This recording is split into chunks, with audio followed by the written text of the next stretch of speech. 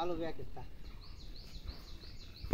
পাগলা খা পাগলা খা সব পাগলের রাস্তা না মেলছে এই জায়গা হ্যাঁ পাগলা খা পাগলা খা পাগলা খা খাই গরু গোস্ত খাইয়ে বা বসে গেছে হ্যাঁ পাগলের মেলা জায়গা হ্যালো এভরিওয়ান কেমন আছো তোমরা? আশা করি অনেক ভালো আছো আমি অনেক ভালো আছি। Welcome back to my channel চলে এলাম আমি সুকন্যাস ফ্যামিলি থেকে লুবনা নতুন একটি ব্লগ নিয়ে।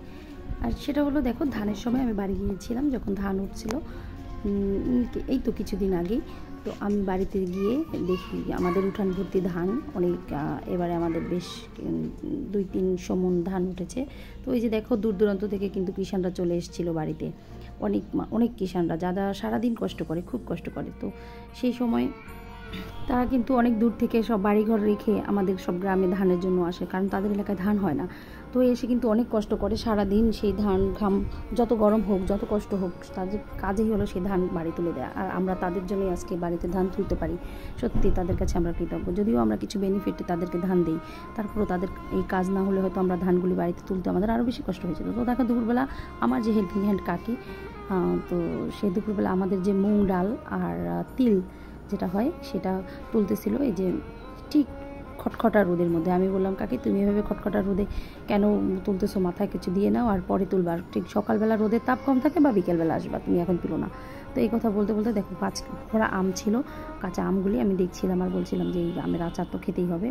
আর হলো আমাদের এখানে একটা জিনিস হয় যেটা হলো যে আম কিন্তু চুরি হয়ে যায়, চুরির জন্য আম আমরা রাখতে পারি না। সত্যি কথা এটা হলো আমাদের অনেক একটা ইয়ে ব্যাপার। এটা একটু কাছের আমাদের ঘেরের আম হয়েছে কিন্তু আমাদের দূরে যে ঘেরগুলি আছে, তো সেই ঘেরগুলির আমগুলো কিন্তু রাখতে পারি না। আর এদিকে দেখো ধানগুলি অলরেডি কিন্তু এই যে জমিতে কেটে কেটে রেখে দিয়েছে, কারণ খুব একটা সুন্দর সময় এবারে ছিল আমাদের, যা বৃষ্টি ছিল না একদমই। কেটে একদম দুদিন ধরে মাঠের মধ্যে এভাবে রেখে দিলে, তারপরে বাড়িতে তুলতে পারতো। আর বাড়িতে তোলার পরে আর বেশি রোদ দেওয়া লাগতো না, খ্যার, কুটা ও না, ধানেও না। তো এই এই সুবিধাটা এবারে কিন্তু মানুষ পেয়েছিল বা আমরাও পেয়েছিলাম। তো এই সুবিধাটা পেয়েই সবাই এই সুবিধা নিয়ে নিয়েছে। আসলে সুবিধা সুবিধা আসলে আমরা কেউ ত্যাগ করতে চাই না, তাই না? সুবিধা পেলে আমরা কেউ ফেলতে চাই না। বলে না যে মাগ না পাইলে নাকি আলকাতরাও মাখে মানুষ। তো এরকম একটা ব্যাপার। তো আমরা যখন সুবিধা পেয়ে গিয়েছি, তো এই রোদকে তো আমরা আসলে ফেলে দিতে পারি না। রোদটাকে আসলে খুব সৎ কাজে লাগিয়ে দিয়েছিলাম। তো এইভাবে করে আমাদের ধানগুলি অলরেডি বাড়িতে উঠে গিয়েছে সব ধানগুলি আমরা কমপ্লিট করে ফেলেছি। আমি আসলে বেশি দিন বাড়িতে থাকতে পারি নাই যতটুকু সময় থেকেছিলাম আমি যতটুকু পেরেছি দেখেছি আর আমি অত বেশি ধানের কাজ করতেও পারি না অ্যাকচুয়ালি তো এদিকে আমার আবার আসার সময় যখন হয়ে গিয়েছিল এদিকে আমার বস মানে আমার বর আমার হাজব্যান্ড উনি ওনাকে আমি বস বলি। তোমরা হয়তো আমার পুরান ভিডিওকে যারা দেখেছ তারা জানবে। বাড়িতে ঘের থেকে দেখো কাঁচা আম নিয়ে এসছে অলরেডি আচার বানানোর জন্য ভুট্টা আম সবগুলি আর এদিকে আমাদের আশেপাশে গ্রামের মানুষরাও উম, প্রত্যেকেই ঘরে ধান আবার মাথায় করে আসতেছে ধান। বাড়ির পাশ দিয়ে। আমার এই ভালো লাগে। গরমের রোদে কি আর করা? সত্যি কথা ভাবতে গেলে কিন্তু যা খেয়ে বাঙালি বাঁচে। একটা পরিবেশ। আর এই ধান থেকে কীভাবে চাল হয় অনেকে কিন্তু আমরা জানিই না। আর এই ধান থেকে চাল কিন্তু আমরা খেয়ে খেয়ে থাকি না। এই যে আমাদের উঠানে বোঝাই ধান আবার এই যে মাথায় করে ধান আসতেছে। যারা মাছে ভাতে বাঙালি যারা ভাত খেতে ভালোবাসি বিশেষ করে। আমরা দেখেছি অনেক সময় আমরা একটু রুটি বা এই সেই খেলে ক্ষুদে লেগে যায় যারা আমরা ভাত প্রিয় মানুষ। এই আর কি। তো দেখো এদিকে আমি তো ধানের কাজ খুব একটা বেশি করতে পারি না। এদিকে আমাদের দুজন হেল্পিং হ্যান্ড ছিল, ওরা আমাদের উঠোনে ধানগুলো শুকিয়ে টুকিয়ে যা যা করা লাগে ঘরে নিয়ে নিয়েছিল।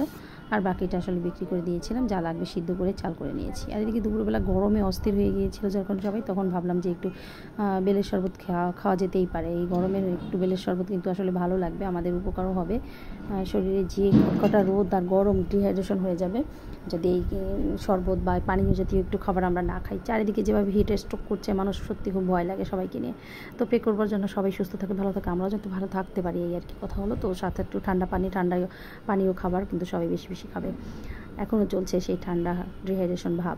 তো আমার এদিকে বেলের শরবত কিন্তু অলরেডি রেডি হয়ে গিয়েছে। ঘন করে বানালে আমার ছেলে খেতে চান তাই একটু পাতলা করে লেবুর রস দিয়ে সাথে চিনি দিয়ে বানিয়ে নিলাম। ও খুব টেস্ট হয়েছিল কিন্তু খুবই মজাদার খেতে। আমার ঢালতে ঢালতে আসলে খেয়ালও ছিল না। দেখো যে পড়েও গিয়েছে কতখানি। আচ্ছা যাই হোক খুব ভালো ছিল খেতে। তোমরাও বানিয়ে এইভাবে খেয়ে নেবে বেলের শরবত বা পানীয় যত খাবার আছে তরমুজ ছিল যখন তখন খুব খেতাম। আমার তরমুজটা খুব ভালো লাগে খেতে। এই যে আমাদের পরিবারের নতুন সদস্য আবার পাইছি এই যে ওরে বাবা কি কিউট কিউট তিনখানা নতুন সদস্য মা একটা হয়েছে ওর মতো আর দুইটা কালা কালা ভুতো ভুতা এই যে মাত্র হইছে মাত্র চোখও খুলে নাই এখনও তবু ম্যাও ম্যাও এই যে ওর মার মতো হয়েছে একটা মা একবারে ওর মা দেখেন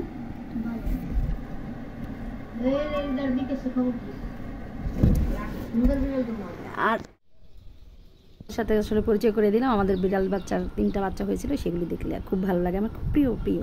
আর এদিকে দুপুরবেলা সব কাজ সেরে আমি যখন দুপুরে রাঁধতে চলে আসলাম, দেখো ইলিশ মাছ নিয়েছিলাম। আরও বড় একটা মাছের মাথা নিয়েছিলাম। কি মাছ ছিল জানি না ঠিক, কিন্তু কাটতে পারছিলাম না, তাই একটা মুগুর নিয়েছি কেটে কুকুর কুটিয়ে কাজে বলে। দেখো নিয়েছি আর এদিকে ইলিশ মাছ অলরেডি ভাজি বসিয়ে দিয়েছি। ইলিশ মাছটা খুব খেতে ভালোই লাগে।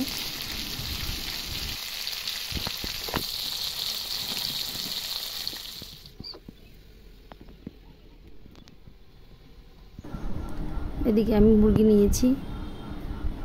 এই মুরগিটায় প্রচুর ডিম থাকে। কেটে রেখেছিলাম, তখন অনেকগুলি ডিম ছিল, কয়েকটা মুরগি কেটেছিলাম। তো আজকে সেই স্টক করা মা মুরগি এবং মুরগি ডিমই সেটা রান্না করতে নিয়েছিলাম তাই এদিকে আমাদের কাজ কিন্তু প্রায় কমপ্লিট। বিকেল হয়ে এসছে। দেখো বিকেলবেলা ধানগুলি সব অলরেডি গুছিয়ে ঘরে নেওয়ার জন্য প্রস্তুত, আমাদের কাকি এবং আমার দুজন যে হেল্পিং হ্যান্ড ছিল, ওদের ছাড়া আসলে আমরা বাঁচতে পারি না বা সম্ভব না। আসলে ওদের হেল্প ছাড়া আমরা কীভাবে চলবো? সবার হেল্প নিয়েই আসলে বাঁচা খুব সহজ হয়ে যায় জীবনটা। তো আমার কিন্তু অনেকগুলি হাঁস মুরগিও আছে। অনেক মানে আমাদের মাসে যত ডিম লাগে সবগুলি কিন্তু আমরা অলরেডি ঘর থেকেই পেয়ে যাই। তো সেগুলোর প্রসেস লাগে, খাওয়া দাওয়া লাগে। যেহেতু আমাদের ধান আছে বা মুরগি খাবার কিছু কিনতেও হয়, তারপরও আমাদের গ্রামে থেকে যদি এইসব সুবিধা না পাই বা না করে নিই, তাহলে এটা কেমন ব্যাপার হয় বলো? তাই আমার খুব পছন্দ হাঁস মুরগি পোষণ করা এবং এদের টাটকা ডিম খাওয়া। আর এদিকে আমাদের ময়নাবাবু দেখো ওখানে বসে আছে গরমের মধ্যে, আর বসে বসে কথা বলছে। আর আমি মুরগিগুলিকে এইমাত্র ছেড়ে দিয়ে এসেই ডিম নিয়ে আসলাম।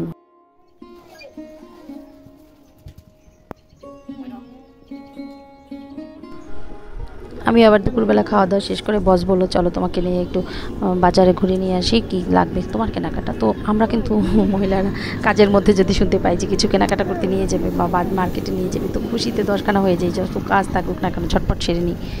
তো দেখো, তারপরে বেরিয়ে পড়লাম দুজনে বাইক নিয়ে ওর, আর মাঠে সুন্দর ধান, তখনও তুলছিল মানুষ।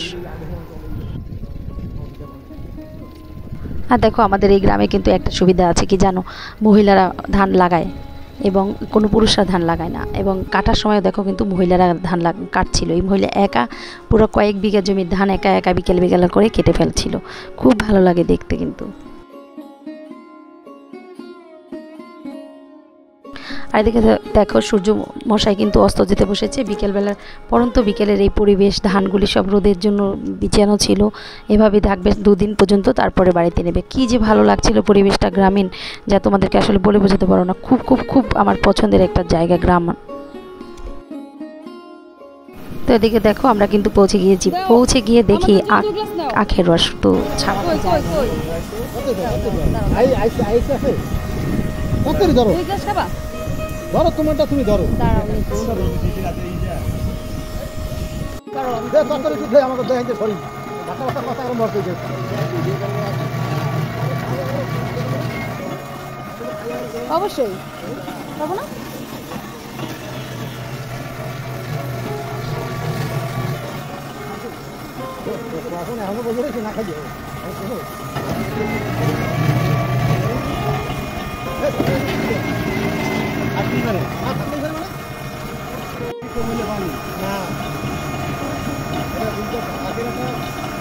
কই কই কই? কত আই আইস আইস আছে কতরি ধরো ধরো তোমারটা তুমি ধরো।